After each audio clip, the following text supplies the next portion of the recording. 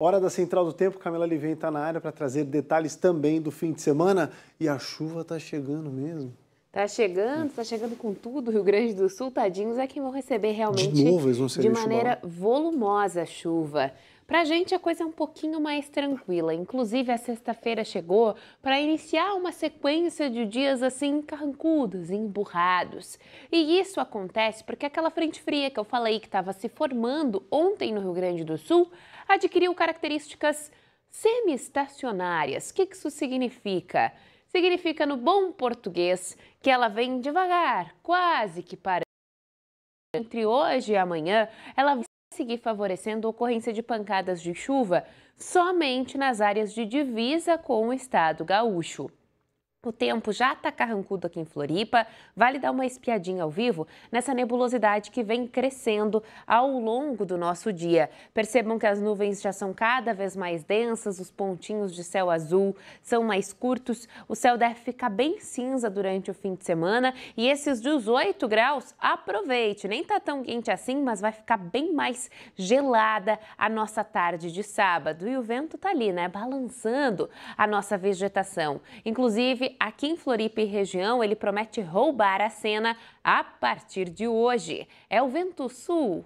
Vento Sul para os íntimos, famosinho aqui no litoral. Ele vai ganhando força aos poucos. O seu pico de intensidade vai ser no domingão, rajadas de até 50 km por hora devem ser registradas desde o litoral sul até o litoral norte de Santa Catarina.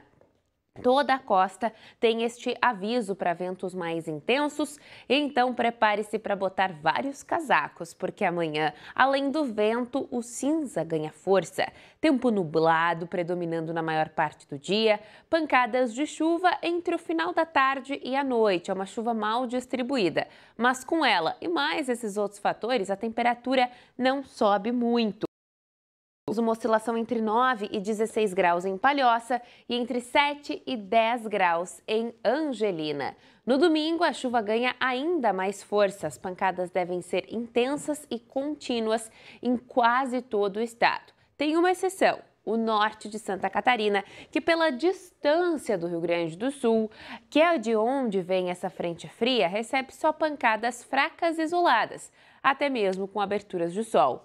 As temperaturas vão ficar baixas ao longo do dia, as máximas vão ser de 8 a 14 graus na maior parte das cidades. E a nossa neve, a janela fechou-se, então a probabilidade dela aparecer está ainda mais baixa do que ontem, praticamente inexistente a chance de neve.